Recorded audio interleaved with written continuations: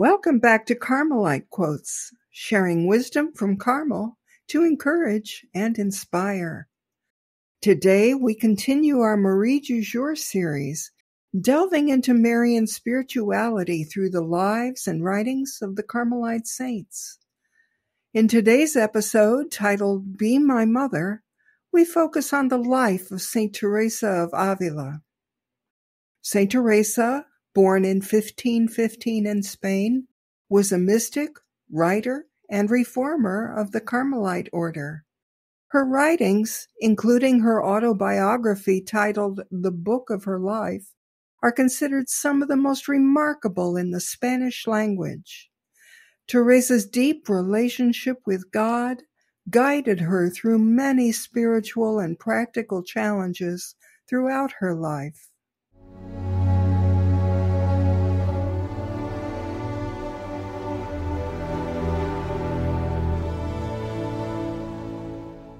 From chapter one of the book of her life, St. Teresa recalls the poignant loss of her mother. I remember that when my mother died, I was 12 years old or a little less. When I began to understand what I had lost, I went, afflicted, before an image of Our Lady and besought her with many tears to be my mother it seems to me that although I did this in simplicity, it helped me.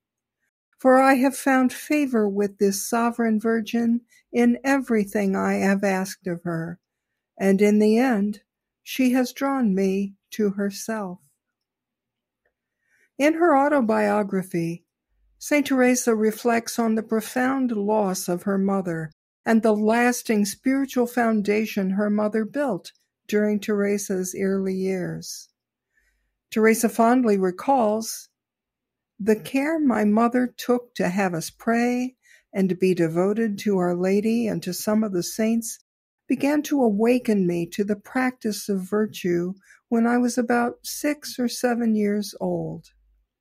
This nurturing in faith by her mother was instrumental in shaping Teresa's spiritual path. Her biographer, William Thomas Walsh, vividly describes the emotional backdrop of Teresa's loss, detailing the family's solemn journey through a harsh Castilian winter to Avila for her mother's burial. This event profoundly affected Teresa, highlighting the deep sense of loss she felt. In her grief, Teresa sought solace at the Church of St. Lazarus. There, before the image of Our Lady of Charity, she tearfully pleaded for Mary to come and be her mother, a request that resonated deeply within her, affirming the Marian devotion her mother had instilled in her.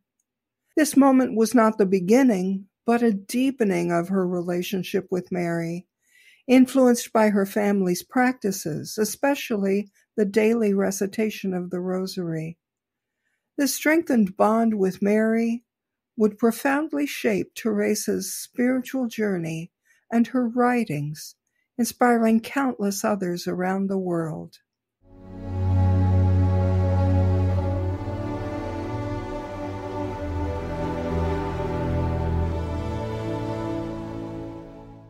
Thank you for joining us today. If this episode touched you, please share it with others subscribe for more, and don't hesitate to engage with our question of the day on Spotify.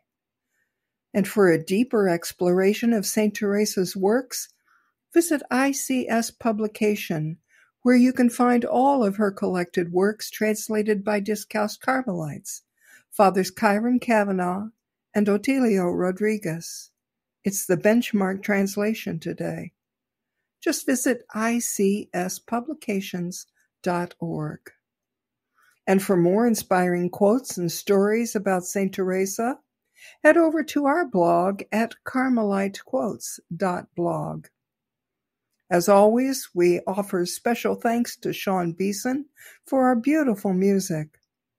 And as we close, let's remember St. Teresa's journey as a testament to the strength and solace she found in our Blessed Mother. The Virgin Mary is waiting for us to turn to her too. Blessings from Carmel.